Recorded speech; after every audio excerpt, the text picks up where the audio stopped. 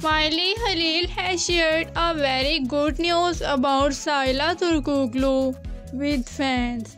Yes, guys.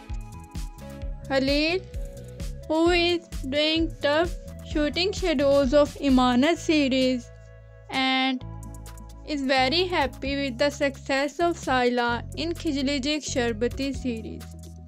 Especially, Saila is trending on social media every day. That makes Halil so happy.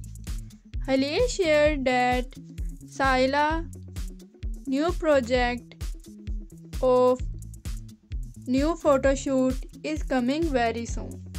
And in this photo shoot, he will also with the Saila.